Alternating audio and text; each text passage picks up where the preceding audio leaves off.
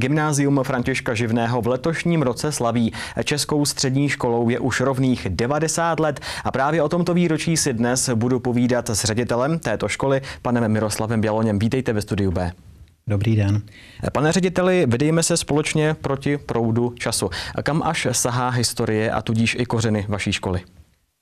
Kořeny naší školy nebo historie sahají až do období těsně po první světové válce, kdy národnostně rozrůzněné obyvatelstvo Bohumínska, zejména česká část, požadovala, aby vznikla střední všeobecně vzdělávací škola a to se naplnilo skutečně na jaře v roce 1921, kdy ministerská komise schválila založení Českého reálného gymnázia, které vlastně od září v roce 1921 začalo existovat. I když nemělo vlastní budovu, eh, využívalo budovu současné radnice a posléze pak budovu eh, vedle Rourovny, což je dnešní základní škola číslo 190 na ulici Petra Bezruče, ale přesto už od roku 1921 toto naše gymnázium existovalo. Možná bychom si měli zmínit v těch počátcích eh, o třídách, jak velké to byly třídy, protože i to se pak odvíjelo v případě výstavby nové budovy. A hlavně z jakých sociálních skupin či sfér chceme-li eh, ti vlastně žáci eh, pocházeli. Takže třídy byly podstatně větší počtem, než jsou dneska. Vůbec první třída Bohumínského gymnázia čítala 51 žáků, z toho bylo 43 chlapců a 8 děvčat. Co se týká sociálního složení, tak eh, většina žáků pocházela ze sociálně slabších vrstev. Nejednalo se o majetné žáky, což poznáváme podle toho, kolik procent žáků platilo eh, příspěvky, kolik platilo školné. Eh, odhaduje se, že to bylo asi 20 žáků, kteří vlastně byli majetnější a 80% kteří pocházeli z chudšího prostředí, z chudších rodin. My jsme už naznačili, že těch dětí v průběhu let přibývalo a proto padlo rozhodnutí vystavět z Brusu novou gymnaziální eh, budovu. Eh, jaké byly ty průvodní jevy a ty kroky k tomu, aby vůbec něco takového vzniklo? Takže to se musíme přenést do poloviny 20. let, kdy byl osloven pražský architekt eh, Alois Mezera, významný český architekt, který vlastně projektoval naši současnou budovu a vytvořil projekt, který následně byl realizován v letech 1927 až 1929. S výstavbou gymnázia se započalo v červenci na svátek Jana Husa 1927 a vlastně po dvou letech bylo gymnázium, včetně ředitelské víly a včetně tělocvičny dokončeno a k prvnímu září vlastně v roce 1929 žáci začali toto gymnázium navštěvovat. Já když jsem se zabýval historií gymnázia Františka Živného, tak ona je opravdu pestrá a já bych se zastavil ještě u té výstavby, konkrétně třeba u takových základů nebo montování oken, protože to v té době bylo hodně. Dneska bychom řekli asi akční. Bylo to velmi obtížné, velmi těžké, protože vlastně pozemek gymnázia, který má rozměry 120 na 65 metrů a nachází se, nebo nacházel se vlastně blízko silnice, která spojovala Bohumín s Karvinou, tak eh, byla to mokřina, to znamená dříve, než se začalo stavět, muselo dojít k tomu, že tam asi tři měsíce dva obrovská elektrická beranidla zatloukala dřevěné a posléze i železobetonové piloty, kterých bylo asi 1400 zatlučeno do té bahnité vlastně půdy a některé ty piloty byly délky až skoro 5 metrů. Takže tím se to vlastně zdrželo celá ta výstavba a trvalá výstavba pak jenom tohoto, této části vlastně trvala tři měsíce, než bylo vlastně gymnázium připraveno na to, aby se mohlo vůbec začít pak stavět. Druhý problém byl v roce 1929, protože rok 29, jak víme z historie, byl velmi mrazivý vlastně musely být vyhlášeny v únoru i prázdniny, celostátní prázdniny. Teploty klesaly i hluboko pod minus 35, takže se zastavily práce a vlastně, protože nebyla dána okna ještě v gymnaziální budově, tak nemohly žádné práce probíhat, takže se všechno zdrželo a pak ta výstavba trvala celé dva roky, když se předpokládalo, že by to mohlo být dříve postaveno a předáno veřejnosti. My už jsme v úvodu zmiňovali, že Bohumín v době vzniku nové budovy gymnázia byl hodně národnostně pestrý. Mně v té souvislosti napadá otázka, jestli se třeba otevření gymnázia stalo jakoby manifestací českého národa.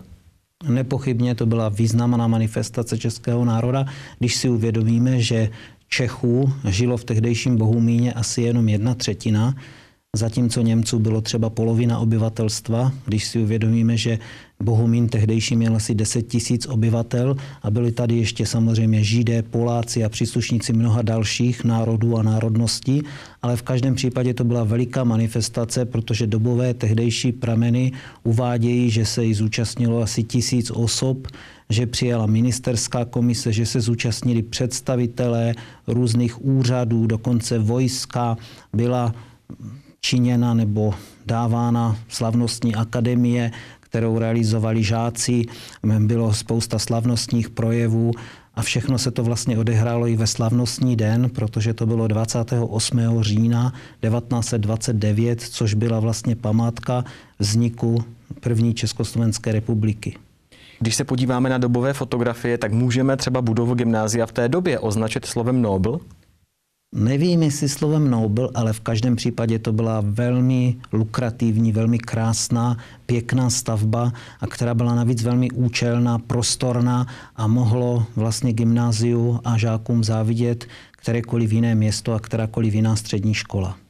Pane řediteli, vy sám jste pedagog, tudíž můžete hodnotit. Jak moc jiný byl tenkrát vyučovací proces oproti tomu, jak ho známe dnes? Myslím, že byl docela jiný, nebo zcela. Když se totiž podíváme na složení žáků, tak zdrcujícím, zdrcujícím způsobem převládali chlapci. E, prakticky po celou dobu první republiky tvořili chlapci asi 80 až 85% populace, která navštěvovala gymnázium. Děvčata byla ve výrazné menšině. Teprve v době těsně před druhou světovou válkou dosáhl počet dívek asi 30 ale zdrcujícím způsobem převládali chlapci vždy a zase v pedagogickém sboru byla situace úplně jiná, než je třeba dnes v pedagogických sborech, protože tam převládali muži, vyučující. Co se týká vlastní výuky, tak eh, počtem hodin učilo se trošku méně hodin, než se učí dneska. Učilo se asi 28 až 32 hodin týdně. My dneska učíme asi 30 až 33. A co se týká prospěchových výsledků žáků, tak byly tyto výsledky nesrovnatelně horší, než jsou dnes, protože se stávalo, že žáků nastoupilo 50, ale končilo 15 nebo 16 po 8 letech, což je samozřejmě situace, s kterou se dneska vůbec nesetkáváme.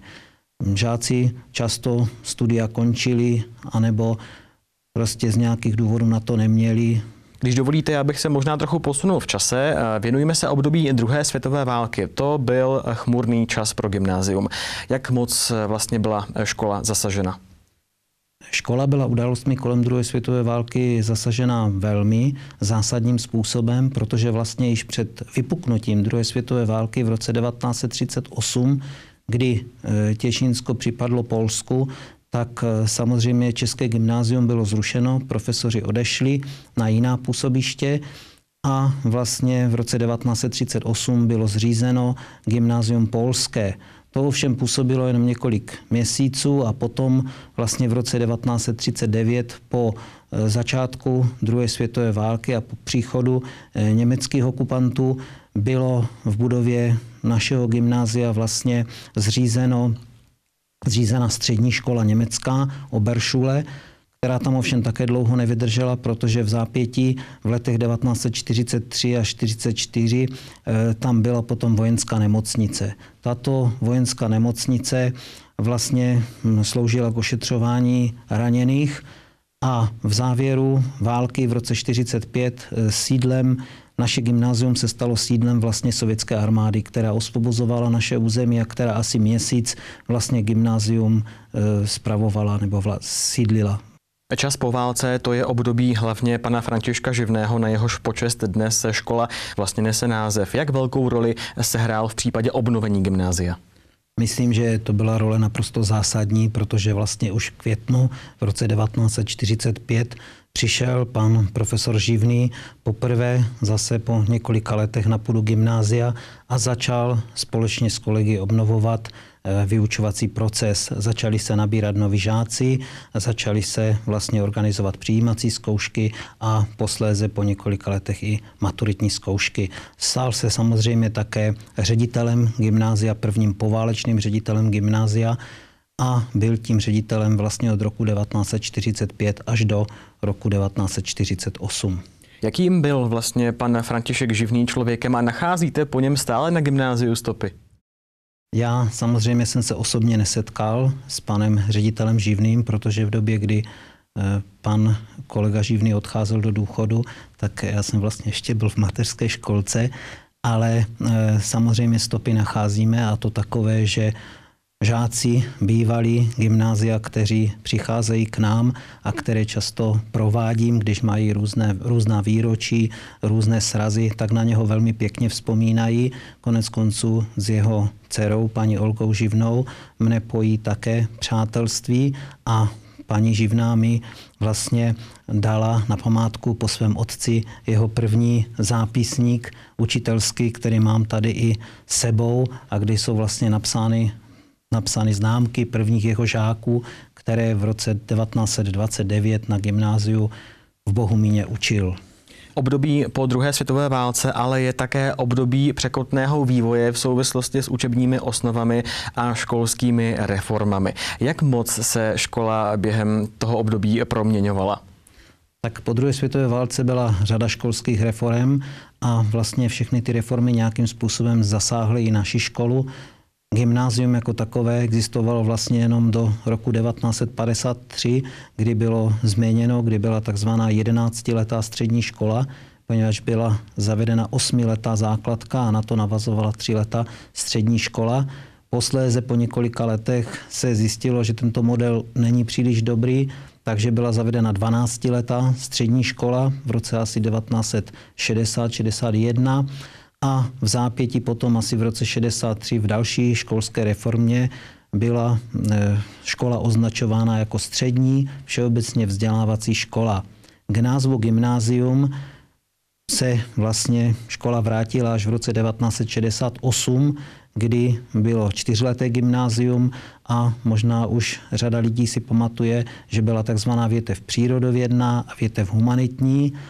V 70. letech pro zajímavost, možná také mnozí pamatují, byly zavedeny základy výroby jako předmět, který učili odborníci, ale protože se tento předmět, tato inovace moc neosvědčila, tak vlastně s revolucí v roce 1989 zanikl a po revoluci po roce 89 od roku 1991 učíme pak takzvaná víceletá víceleté třídy nebo víceleté gymnázium máme, to znamená nejenom čtyřleté, ale i osmileté v současné době. Jak vysoké nároky dnes škola klade jednak na studenty a potom také na pedagogy? Tak já bych začal asi pedagogy, pedagogickým sborem. Současný pedagogický sbor Gymnázia Františka Živného čítá asi 30 eh, vyučujících. Všichni vyučující mají vysokoškolská, vysokoškolské vzdělání Kromě toho řada vyučujících má doktorát a jeden vyučující dělá v současné době postgraduální studium, doktorantské studium. Co se týká žáků, tak samozřejmě nároky jsou značné na současné studenty. Žáci dosahují prakticky pořád dobrých výsledků nejenom v rámci kraje, ale i v rámci republiky. Každoročně máme oceněné žáky který patří mezi nejúspěšnější žáky Moravskoslezského kraje. V současné době v letošním ročníku to je například Ondřej Chylek, který bude oceněn v říjnu na úrovni kraje, anebo skupina žáků, kvarty, kteří vlastně vyhráli nebo umístili se velmi pěkně v rámci zeměpisných soutěží v celostátním kole a také budou oceněni mezi pěti nejlepšími družstvy žákovskými Moravskoslezského kraje. Bude to právě 14. října. Pod vaší taktovkou, jak už jste naznačil, se odehrají eh, oslavy výročí 90 let gymnázium Františka Živného. Už víte, jakou budou mít podobu? Ano, rámcově víme. Víme, že budou probíhat 14. a 15. října tohoto roku.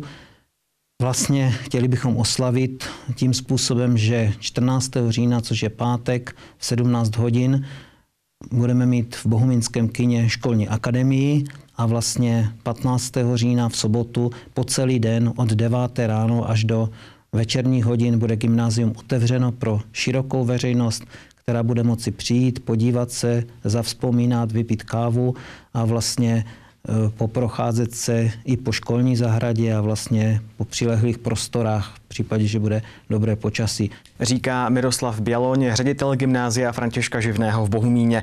Děkuji za rozhovor a přeji vám i samotné škole. Jen to dobré. Děkuju. Ze studia B zdraví a hezký zbytek dne přeje Lukáš Kaňa. Lukáš dne přeje Lukáš.